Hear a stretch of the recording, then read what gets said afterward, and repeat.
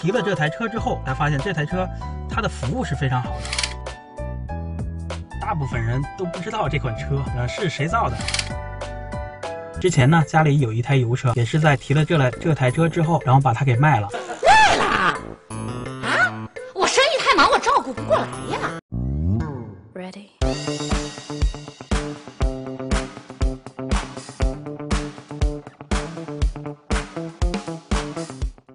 各位朋友，大家好，我是本台车极狐阿尔法 T 的车主。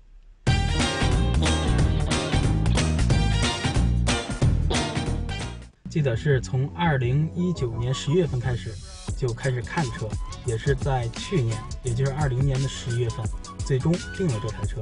当时自己的购车预算大致定制在二十万左右，基本上试驾了市面上大部分的电动车型，像北汽的 E U 五、E U 七，然后比亚迪的秦 Pro EV、宋 Pro EV，还有汉 EV，包括未来的 ES 六、特斯拉的 Model 三、吉利的几何 A、几何 C 等等这些车型。最终想要在未来的 ES 六、特斯拉的 Model 三，还有这款车做一个选择。记得当时是未来的 ES 六在二零一九年年底的。时候，它的一些补贴的一个退坡，加上本身的这个购车的一些优惠，呃，没有赶上，因为自己的指标是在二零二零年的二月份才下来，所以最终把蔚来给放弃了。然后是特斯拉的 Model 3，从年初的国产化标准到年终又出长续航，到年末最终它的价格也没有调到自己的理想预算范围内，最终也给放弃了。当时这台车购车的时候没有没有任何优惠，当时选择这款车呢，其实实主要看重它三点。第一，续航大。对于自己来说，嗯，考虑电动车的首要考量标准标准就是。呃，续航，它这款车是九十三点六度的电池，续航是六百五十三公里，能够应对自己日常出行大部分的应用场景。第二一点是它的空间，空间足够大，轴距是两米九，乘坐空间非常的舒服，包括有一个大的全景天窗，还是比较不错的。第三一点是座椅和底盘，这台车的乘坐是非常舒服的，官方称之为零动力座椅。我现在提车已经有两个多月了，现在已经开了四千多公里，非常舒服，就不像有的车型它座椅偏软。你坐时间长了，腰部没有更多的支撑，然后会觉得很累，腰疼腿疼。这台车没有这种感觉，开起来总之很舒服。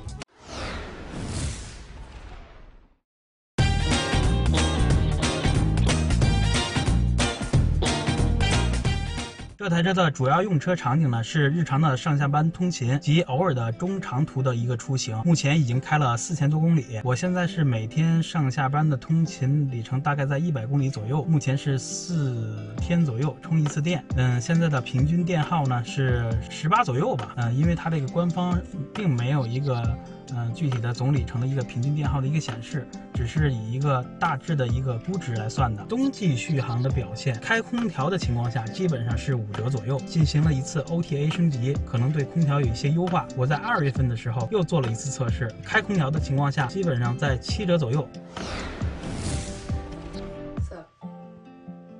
这台车是家里的第二台车。之前呢，家里有一台油车，提了这台车之后，然后把它给卖了。电车和油车相比啊，电车是非常好开的。首先是它可以切换各种模式，根据你的需求，想快可以运动嘛，想慢的话节能模式，续航可以更长。电车开起来是很安静的。最开心的一点就是使用成本是相当低的。但是最不开心的一点就是，如果说家里边没有私装的话，频繁的充电会给你将来的用车带来很大的困扰。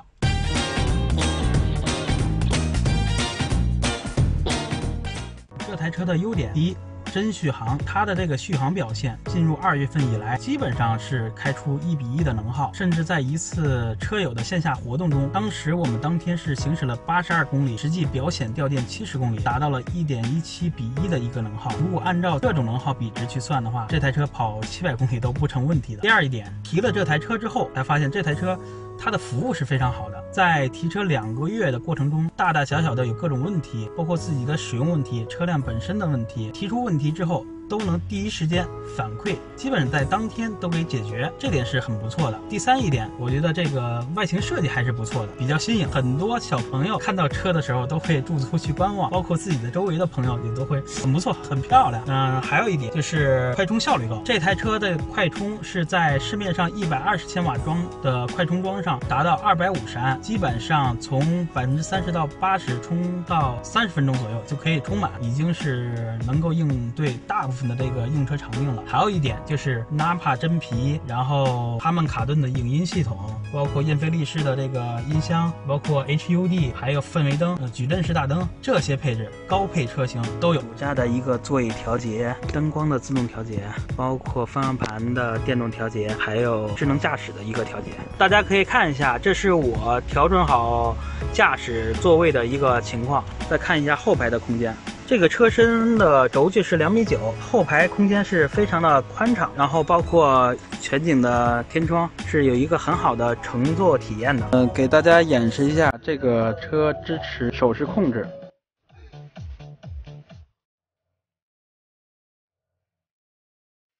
小狐狸，你好，播放我们的时光。好，开始播放赵雷的《我们的时光》。嗯，这款车现在新的 OTA 升级还增加了这个腾讯视频。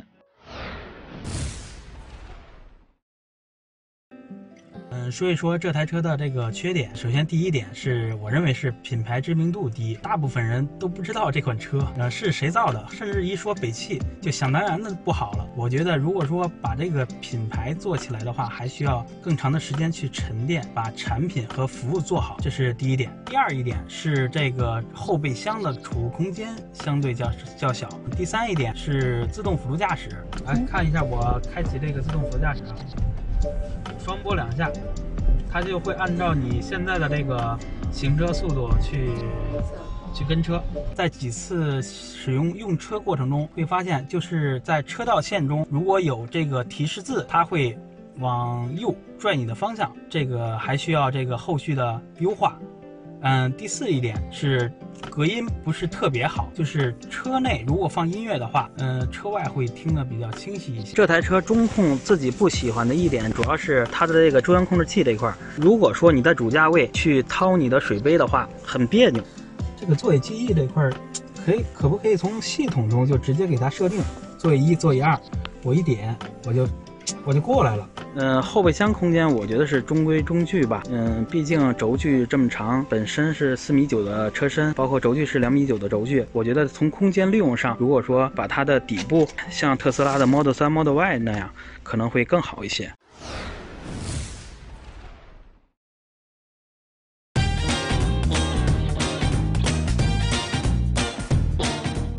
目前开这台车去的最远的地方是从平谷迎宾环岛出发，然后到密云的白河大峡谷，往返是一百八十五公里。当天我们去的时候，出发的时候表显的里程是五百七十四公里，回来之后还有三百九十三公里，耗电比例基本上是一比一。我们返程的过程中，当然是下山的一个路段啊，当时记得是走了十二公里，表显还多了两公里的电，特别有意思。